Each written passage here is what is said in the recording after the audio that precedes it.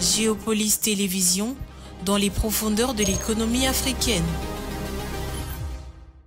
Tout de suite,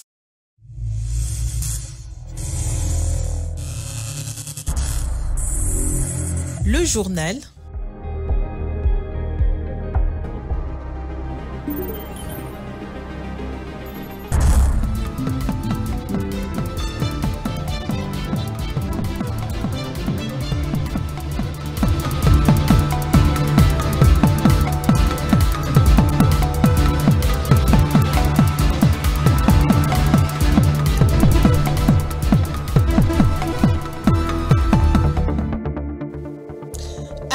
Quatre jours de la clôture de la COP29, les partis ne s'accordent toujours pas sur les engagements autour du financement qu'il faut consacrer pour préserver le climat dans le monde. Patrick Ilunga nous fait le point dans ce journal. Et puis, évaluation de la mise en œuvre de la mesure d'évacuation des marchés pirates dans le quartier Pompage par le commissaire divisionnaire de la ville de Kinshasa. Le vendeur de ce marché ont exprimé leur souhait de voir leur activité délocalisée vers la cité Molokai. Et à l'international, la forte fluctuation des prix des denrées alimentaires sur ces cinq dernières années a fragilisé plusieurs pays dépendants du marché international pour leur approvisionnement. Cette vulnérabilité est un enjeu majeur en Afrique subsaharienne où les ménages consacrent en moyenne 50% de leurs revenus à l'alimentation. C'était là les sommaires, Madame, Messieurs, bonsoir et bienvenue à cette livraison de l'actualité. Commençons avec cette information en brève. Initialement, a prévu pour ce lundi, l'inauguration du nouveau bâtiment de l'Assemblée provinciale du Haut-Katanga a été reportée au mardi 19 novembre. Le président Félix Antoine Tshisekedi, qui devait y participer, a choisi de se rendre d'abord à Kanyama KCC pour évaluer directement les réalisations du service national dans cette région de la RDC. Et puis, avant de se rendre à Kanyama KCC, le chef de l'État a présidé dimanche soir la réunion du Conseil supérieur de la défense afin de faire un point sur la situation sécuritaire dans la province du Haut-Katanga. Jacquemin Chabani, vice-ministre et ministre de l'Intérieur, nous fait le point. L'opinion doit retenir que le président a eu autour de sa table toutes les institutions et les personnalités concernées par la, sécurité et la défense de la province du Haut-Katanga, mais par la présence du commandant de la 22e euh, région militaire, on a eu l'avantage d'avoir la, la, situation de tout l'ancien Grand Katanga. Et ça a permis de faire un échange euh, d'informations et un échange sur la situation sécuritaire. Et le président de la République a eu aussi l'opportunité de donner des instructions euh, claires et fermes aux différents services sur la façon dont ils doivent euh, se comporter et prendre en charge la situation. Le rapport euh, qui lui a été fait renseigne que la situation est relativement calme. C'est vrai qu'il y a certains faits qui ont été relevés, mais dans l'ensemble, la situation est relativement calme. Et le président en a profité pour donner des instructions en ce qui concerne les perspectives à venir. Une autre brève dans ce journal au Canada où la première ministre participe au forum sur l'accélération du rythme de développement de l'Afrique, Africa Accelerating 2024 à Ottawa au Canada qui s'est ouvert ce lundi 18 novembre. Elle a profité de la tribune de cette conférence pour inviter les investisseurs canadiens à venir investir en RDC qu'elle a présenté comme pays solution et meilleure destination pour les investissements. Nous y reviendrons avec des amples détails dans notre prochaine édition. Marché pirate, le commissaire supérieur adjoint de la police nationale congolaise à Kinshasa, Bleski Limbalimba, a effectué ce lundi une visite d'évaluation de la mise en œuvre de la mesure d'évacuation des marchés pirates dans le quartier Pompage situé dans la commune de Ngalima à l'ouest de la capitale. Lors de cette visite, les vendeurs du marché de Pompage ont exprimé leur souhait de voir leur activité délocalisée vers la cité Molokai en quête d'un espace sécurisé pour exercer leur commerce. Rachel Missinga. Les vendeurs du marché de pompage réclament leur déplacement vers la cité Molokai, exprimant ses souhaits lors de la visite du commissaire provincial de la police le 18 novembre 2024. Ils dénoncent les conditions de travail difficiles et les dangers quotidiens liés à l'occupation illégale de la chaussée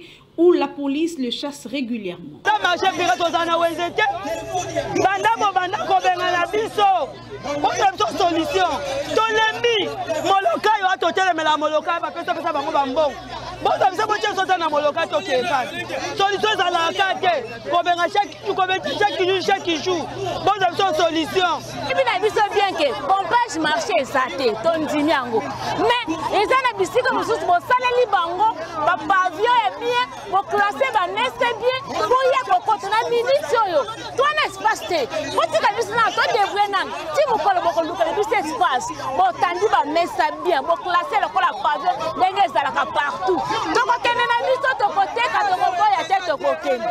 Les commissaires divisionnaires adjoints Blaise Kilimbalimba étaient sur place pour évaluer les mesures visant à démanteler ces marchés illégaux dans la commune d'Engaliema. Les commerçants soulignent les risques liés à la circulation avec des accidents fréquents impliquant des véhicules. De nombreux riverains soutiennent les actions de la police soulignant que l'occupation de la voie publique engendre des embouteillages et met en péril la sécurité de vendeurs. Ils appellent le gouvernement à construire un marché adapté pour les commerçants. Les sites de pompage est également marqué par l'accumulation des déchets et malgré ces conditions chaotiques, les vendeurs poursuivent leurs activités.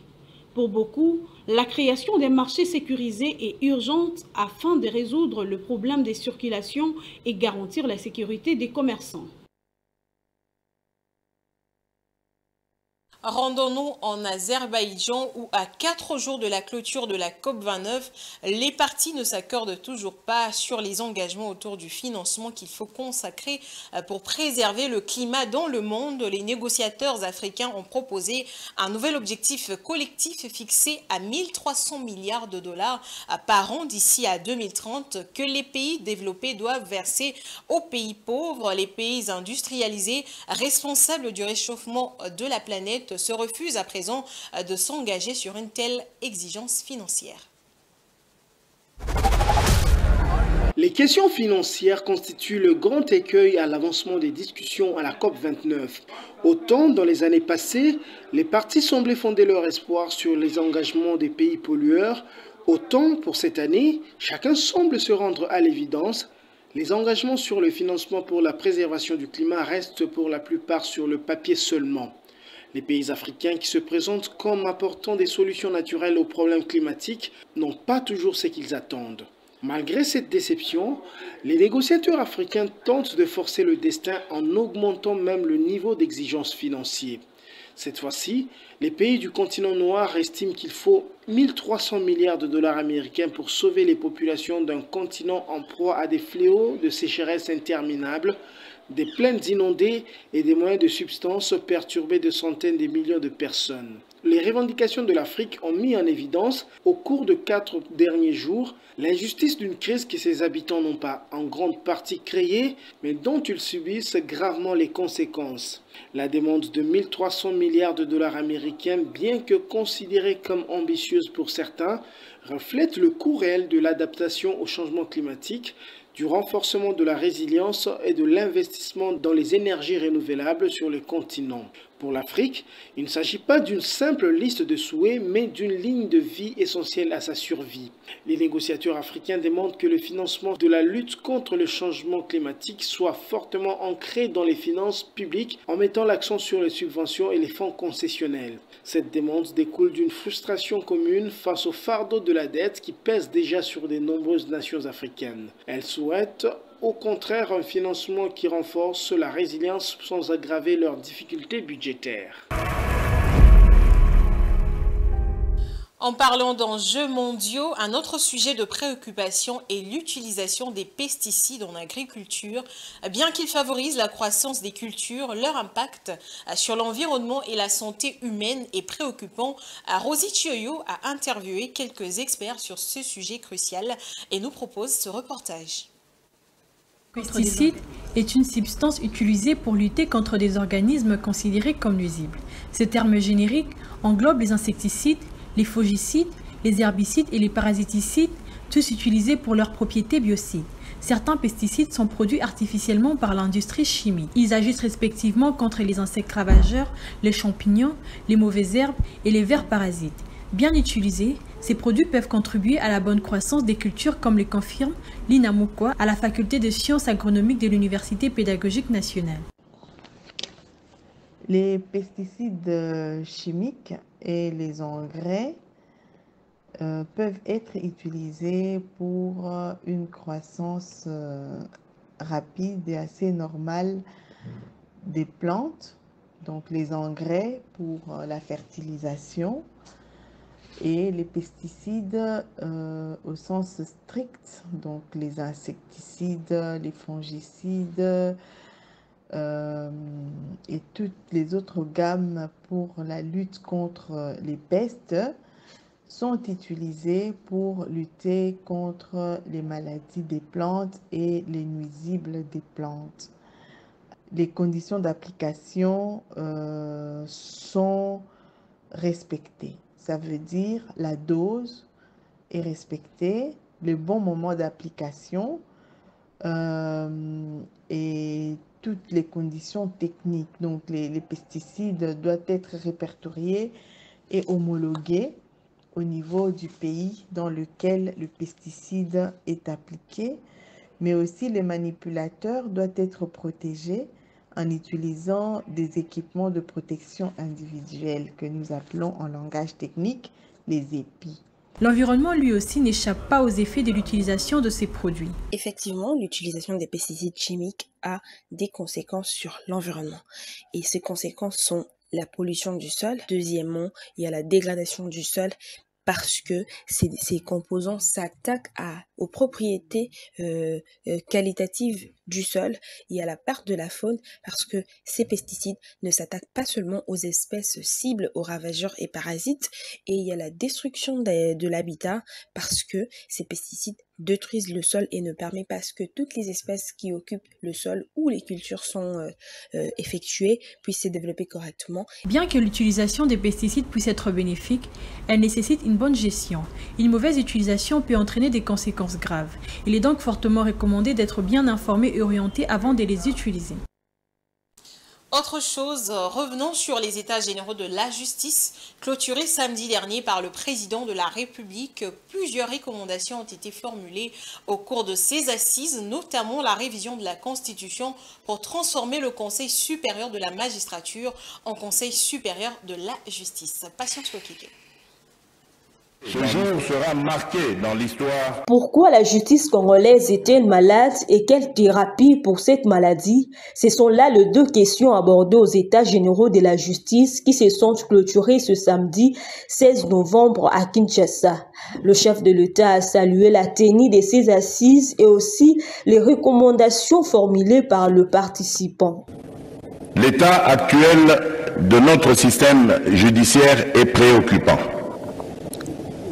Nos travaux ont mis en lumière des failles profondes héritées de décennies de crise, de négligence et d'abus. Corruption, manque de moyens, formation inadéquate, impunité, absence d'indépendance du pouvoir judiciaire et multiples obstacles à l'accès à la justice pour les plus vulnérables. Ces défis, nous les connaissons et savons maintenant l'urgence de les. Parmi les recommandations des États généraux, l'on peut noter la révision de la Constitution pour transformer le Conseil supérieur de la magistrature en Conseil supérieur de la justice et la mise sur pied d'une juridiction pénale spécialisée et une loi des compétences universelles pour juger les crimes internationaux graves. Le président Félix Tshisekedi a par ailleurs promis d'instruire le gouvernement pour la mise en œuvre de moyens matériels et financiers indispensable à la réforme de la justice. J'affirme mon engagement personnel à accompagner la mise en œuvre idoine des recommandations issues des États généraux de la justice. Cette volonté de réforme incarne une priorité nationale, nécessitant une mobilisation sans faille.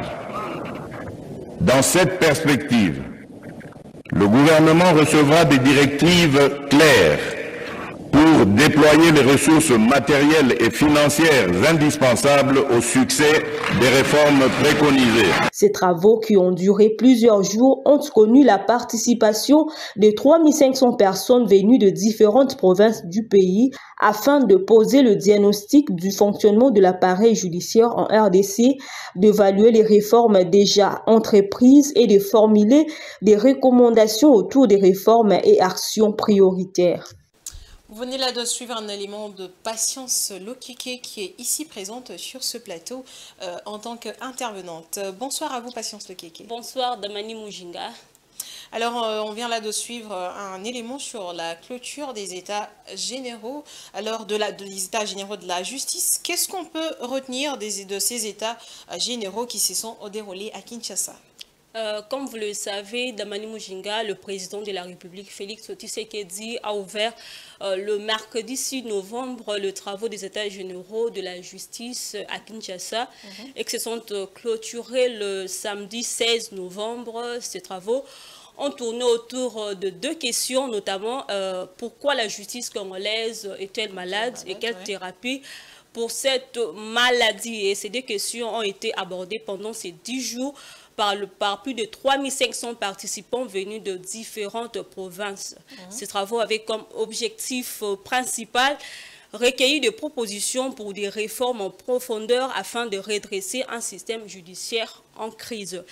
Dans Dans Mujinga, il faut dire qu'il y a eu un rapport général où plusieurs mots euh, qui rongent la justice ont été épinglés, notamment il s'agit de la corruption généralisée, euh, marchandage des décisions judiciaires, spoliation abusive de biens euh, deux entreprises ou des citoyens, insuffisance de la couverture judiciaire, pour ne citer que cela. Alors, Patience Lokeke, dans votre élément, vous avez parlé de quelques recommandations. Euh, pouvons-nous savoir quelles sont ces recommandations qui ont été formulées au cours de ces États généraux de la justice? Euh, d'une manière générale, les États généraux ont abouti à 359 recommandations. Mhm. Mais faute de temps, nous allons citer que cinq recommandations. À savoir, il y a eu la transformation du Conseil supérieur de la magistrature en Conseil euh, supérieur de justice et qu'il soit dirigé par les présidents euh, de la République. Et puis, euh, ils ont accordé au ministre de la Justice le pouvoir de nommer, muter et suspendre le magistrat euh, du parquet et créer une cour pénale spéciale pour juger les crimes internationaux graves à l'est de la République, démocratique, du Congo et puis euh, permettre la poursuite des criminels internationaux en adoptant une loi sur la compétence universelle et puis enfin euh, la révision de l'article 10 de la Constitution pour permettre l'adoption de la double nationalité, de la loi de la double nationalité en RDC tout en instaurant euh, des mécanismes de déchéance pour haute trahison. Voilà, je pense que c'est tout. Euh, Patience Lokeke, merci à vous. Merci Damani Mushinga. Poursuivons avec euh, l'actualité dans ce journal et sur le plan économique. La journée du dimanche 17 novembre 2024 a marqué un moment historique après plus de 30 ans de fermeture. Les mines de Kipushi au cœur du Haut-Katanga renaissent avec l'inauguration de leur usine modernisée Kipushi Corporation, en abrégé Kiko, un projet ambitieux mené par Ivanoe Mine et l'AGK Mine et soutenu par le chef de l'État Félix Tshisekedi positionne cette mine légendaire au centre de l'industrie mondiale du zinc. Plus, de détails avec Dieudonné Boinali. La symbolique est simple et forte. À travers ces gestes, le chef de l'État, Félix Tshisekedi, a lancé officiellement la production des zinc à l'entreprise minière Kipushi Corporation, qui située à 40 km de Lubumbashi. Après 31 ans d'activité, la mine la plus profonde de l'Afrique centrale est de nouveau opérationnelle. Fruit d'une jointe venture entre les groupes miniers Ivanoé et la Générale des carrières et des mines Gécamine, les gisements miniers de Kipushi refont surface sur l'échiquier international. L'ère est à à la production, comme l'a constaté le président de la République, Félix Tshisekedi, accompagné de la distinguée première dame et de nombreux officiels lors de cette visite guidée. 35 000 tonnes de seront produites et qui réalise déjà 540 000 tonnes par an et attend graduellement augmenter sa production d'ici le premier trimestre 2025. Ces explications ont été données lors des différents discours prononcés à cette occasion. Euh, cette activité va créer beaucoup d'emplois euh, et cet emploi sera, je dirais, offert aux communautés locales. Donc là, c'est un élément très important mais également euh, sur les aspects euh, de, de, maximisation de recettes, nous pouvons euh, assurer que cette usine payera les droits et, taxes qui doivent être faits et cela va contribuer davantage au, au, niveau du budget national. Dans les cadres du social, l'entreprise devra contribuer énormément au progrès des entités affectées à travers différents projets communautaires. Cette relance va créer non seulement beaucoup d'emplois pour les communautés locales, mais aussi permettra de maximiser les recettes dans ces secteurs porteurs des croissance. Il s'y est dénoté que les projets Kiko reflètent une nouvelle approche dans les relations commerciales entre Gécamine et Ivanoé Mine, avec une révision de l'accord initial de 2006. La participation actuelle de la Gécamine est de 32%. Elle passera à 38% dans quelques jours, à 43% dans 3 ans et atteindra 80% dans un délai maximal de 12 ans, faisant de la Gécamine l'actionnaire majoritaire et les propriétaires de la et dans un contexte de coopération régionale, toutes les communautés de la région des Grands Lacs sont appelées à cohabiter pacifiquement. C'est la recommandation formulée lors d'une conférence débat sur la paix organisée ce samedi à Paris par l'ASBEL Lissanga des élites pour le renouveau du Congo. Un commentaire de Rachel Misenga sur les images de Patrick Mangala est un facteur clé du développement durable pour la population mondiale. À ce sujet, une conférence débat s'est tenue le samedi dernier à Paris. Durant trois heures, les différents intervenants ont présenté leur communication sur la paix en Afrique avec un focus particulier sur la région de Grand Lac. Il est important pour nous de redonner une, autre image que celle qui a été l'image de combattant, euh, qui a quelque part, euh, je dirais pas sali parce que chacun a fait son travail à son échelle. Et aujourd'hui, il faut transcender les choses. Et nous pensons aujourd'hui qu'il euh, faut passer le relais. Il faut redynamiser cette, cet éveil de conscience avec des gens euh, qui ont une approche plus proximative du problème de, de, la République démocratique du Congo. C'est pour cela on s'est dit que nous structurer ici pour euh, mener le combat qui a été autrefois celle de combattants, mais nous voulons redynamiser euh, le, combat dans un cadre plus approprié aux, réalités de, notre pays. Seule l'unité pourra mettre fin à la guerre dans la région du Grand Lac. Donc le, mot qui me vient à l'esprit, c'est l'unité de ces pays-là, dans cette région. Comment ces pays peuvent s'unir autour de valeurs euh, pour la paix et le développement? C'est-à-dire dans le domaine euh, public euh, comment servir les citoyens, comment permettre aux citoyens de, vivre euh, dans la coprospérité. Donc ça, c'est ce qui est très, important. Les participants à cette conférence souhaitent que la population de la région de Grand Lac, une zone durement touchée par les conflits, notamment au Congo, au Soudan et au Burundi, puisse aspirer à un vent de paix dans leur pays. Cette conférence a été organisée par l'Isanga des élites pour les renouveaux du Congo, une organisation sociopolitique créée en 2024 en France. Chaque 18 novembre, le monde célèbre la journée mondiale du bon usage des antibiotiques. La prise de ces médicaments intervient en cas des bactéries comme la tuberculose et plusieurs risques sont signalés tels que les allergies et des cas de décès dus à l'automédication de ces produits. Suivez. Les antibiotiques sont des médicaments qui tuent les bactéries ou les empêchent de se reproduire. Ils sont très souvent utilisés pour guérir des maladies causées par des bactéries comme la tuberculose, l'otite ou la pneumonie. Ils sont prescrits pour prévenir des complications d'une infection. Les bon usage est important pour éviter des risques tels que les allergies et bien d'autres risques comme l'explique le docteur Michael Koma. Là, nous pouvons évoquer euh, trois risques. Le premier risque, nous avons d'abord la multiplication des souches microbiennes multirésistantes. C'est-à-dire quoi? Lorsque vous prenez les antibiotiques de manière abusive, vous êtes en train de multiplier en quelque sorte le souche microbienne, c'est-à-dire d'autres formes de microbes dans votre sang qui vont en fait lutter contre la prise ultérieure des antibiotiques lorsque vous allez tomber malade. Donc c'est ça le premier risque. Le deuxième risque est lié à l'intoxication, c'est-à-dire vous prenez les produits vous-même sans pour autant savoir la posologie et vous allez vous intoxiquer. Et le troisième risque, ce sont les allergies. Donc, vous prenez les, antibiotiques sans pour autant savoir si vous êtes allergique à l'une ou l'autre molécule. Les taux d'utilisation d'antibiotiques allaient de 33% chez les patients de la région du Pacifique occidental à 83% dans la région de la Méditerranée orientale et la région africaine. En Afrique, précisément en République démocratique du Congo, au moins une personne sur trois fait l'automédication des antibiotiques. L'avis d'un médecin avant de les prendre est important. Comment prendre les antibiotiques? Pour prendre les antibiotiques, il faut aller à l'hôpital. Il faut consulter un médecin.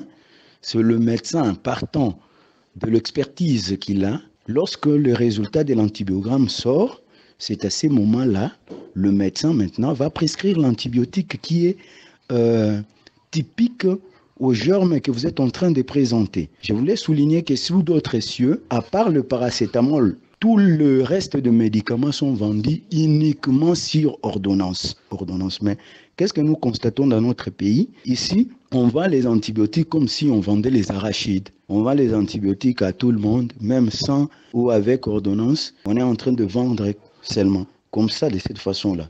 Et ce sont les problèmes que nous allons, que nous rencontrons déjà. Le problème de résistance, qui est à la base de certains cas de décès dans notre pays. Il est toujours important de demander l'avis d'un médecin ou d'un pharmacien avant la prise d'un antibiotique et sur le plan sportif, les léopards de la République démocratique du Congo vont affronter les Walias de l'Éthiopie euh, ce mardi 19 novembre 2024 en match comptant pour la sixième et dernière journée des éliminatoires de la Cannes Maroc 2025. En conférence de presse d'avant-match ce lundi, euh, Sébastien Dessabres a fait quelques annonces. Blaise était sur place. Les léopards de la République démocratique du Congo clôturent les éliminatoires de la Coupe d'Afrique des Nations Maroc 2025 avec la réception ce mardi 19 novembre à 17h au stade de martyr de Walia de l'Éthiopie. Revenu de la défaite sur le fil, un but à zéro samedi dernier contre les Chili national, les Congolais se doivent à tout prix se remettre pour soigner leur image à 12 mois de la 35e canne. La, défaite fait partie, du jeu. Euh, surtout, on a été, a été déçu parce qu'elle intervient à un moment où, euh, voilà, qui est crucial dans un, dans un match. Ce sont les arrêts de, jeu. On a joué une bonne équipe de, Guinée. C'est dommage. D'avoir euh, d'avoir concédé ce, but. Euh, après, euh, on était sur une série remarquable de, victoires. donc c'est un, petit rappel qui, fait que qu'il bah, faut se remobiliser de suite. Une équipe a le droit de, de perdre, mais elle doit se remobiliser immédiatement. On a la chance d'avoir un match demain à, à, domicile et il faudra termes de résultats, faire euh, gagner, le match, euh, le, gagner le match de demain. Notre, nos mois de mars, hein, euh, l'année prochaine, on déjà projeté sur ces, sur, sur ces, sur ces dates-là. Après, le résultat de demain, c'est vrai que nous, on a envie, et les garçons le méritent sincèrement. De... L'explication face au Walia, dénouée d'un fort enjeu, marquera sans embâche le premier pas comme titulaire de Benjamin de la tanière des Léopards comme Noah Sediki, Ngalae Mukaou, Nathanael Mbuku, Oscar Kabouit, Timothy Fayoulou, William Balikusha ou encore Ruki Bouchiri. C'est un contingent à un seul trait qui les caractérise, n'avoir pas eu plus de 80 minutes comme titulaire en 5 matchs. Vous suivez la grande édition en direct de Géopolis Télévision, Madame, Messieurs. À présent, nous allons faire place à la page internationale.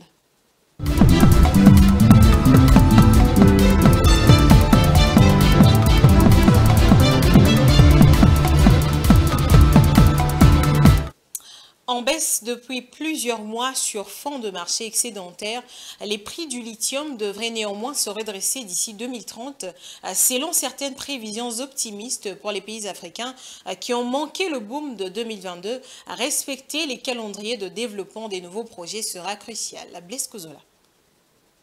continent africain est l'une des zones où les stocks alimentaires publics peuvent être d'une grande utilité pour faire face au casse-tête de la volatilité des prix alimentaires. En Afrique subsaharienne plus spécifiquement, les nations qui dépensent les plus des importations ont puiser davantage dans leurs devises étrangères pour s'approvisionner sur les marchés en raison du renchérissement des prix des denrées alimentaires et des intrants agricoles comme les engrais alors que ceci paie les coûts de la volatilité induite par les événements politico-économiques ainsi que les prix de la spéculation des grands glomérats agro-industriels, la mise en place de stocks publics offre au pays la possibilité d'agir sur les marchés intérieurs à défaut de peser sur le système global sous réserve d'une bonne gestion des stocks régulateurs bien conçus permettre d'encourager la production locale en achetant des récoltes de production nationaux, offrant de fait une source de revenus stables aux agriculteurs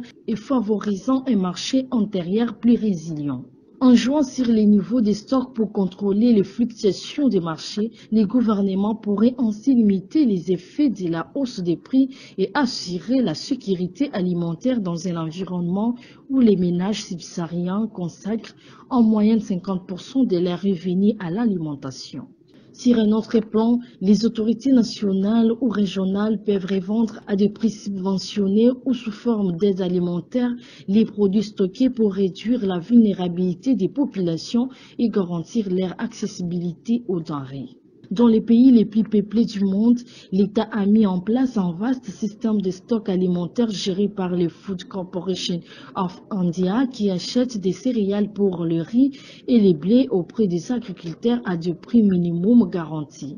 Ces stocks sont ensuite distribués par le système de distribution publique pour fournir des denrées à prix subventionnés aux populations vulnérables. Au-delà des implications pour les pays africains, les auteurs proposent que la FAO coordonne les stocks publics alimentaires à l'échelle mondiale pour réguler non seulement les prix, mais aussi impulser la transformation vers un système alimentaire plus résilient face Rectification, vous venez là de suivre un élément sur la forte fluctuation euh, des prix des denrées alimentaires euh, sur ces cinq dernières années euh, qui a fragilisé plusieurs pays dépendants du marché international.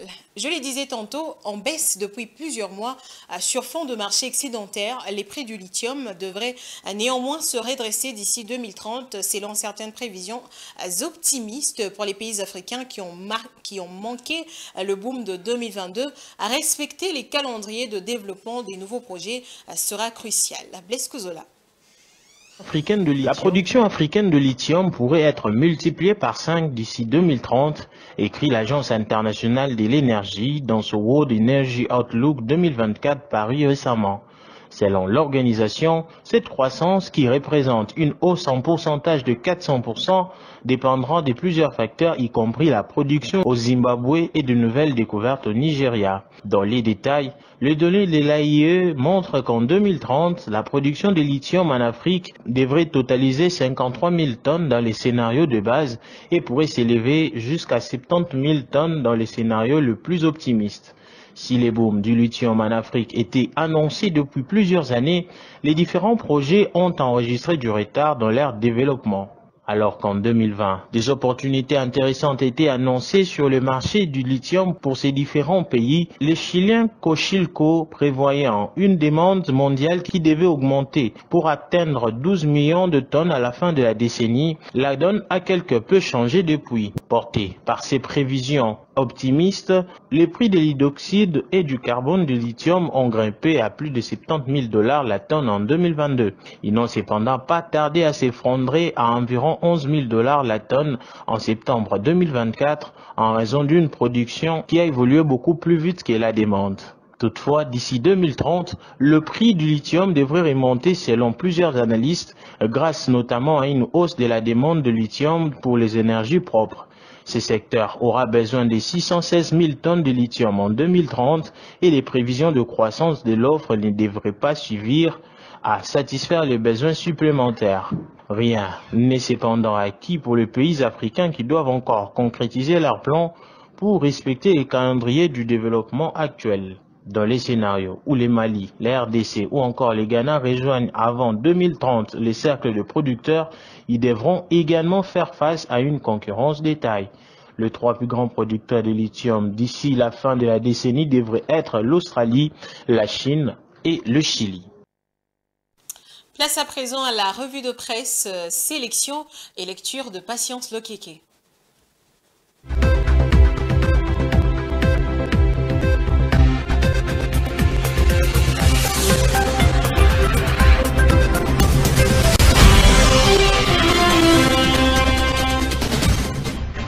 Mesdames et messieurs, bonsoir, bienvenue dans cette revue de presse. Ouvrons cette revue avec Forum des As. Le journal revient sur les dossiers chauds de l'heure, à savoir la réforme à venir de la Constitution. Le journal écrit Devant une foule immense venue à sa rencontre, le président de la République Félix Tshisekedi a tenu un meeting populaire à la place de la Poste au centre-ville de Lubumbashi, dans la province du Haut-Katanga, le samedi 16 novembre. Au cours de son discours, le président Félix Tshisekedi a réitéré sa position de réviser la constitution congolaise en mettant en place une commission constituée des différentes couches des Congolais pour la repenser. Il a aussi éclairé l'opinion publique sur son meeting de Kinshasa en fin du mois de septembre qu'il a dit être mal interprété par les opposants. Dans le même registre, le quotidien titre Félix Tshisekedi sur ses bottes à Lubumbashi. Félix Tshisekedi a réaffirmé le samedi dernier à Lubumbashi où il séjourne actuellement son initiative de voir la loi fondamentale subir des modifications ou carrément être changée à cause de certaines de ses dispositions devenues non adaptées au contexte actuel. Cette fois-ci, le président de la République a utilisé un ton ferme et menaçant face à tous ceux qui s'y opposent et veulent l'empêcher d'user de ses prérogatives constitutionnelles en tant que celui à qui revient l'initiative de la révision constitutionnelle. On les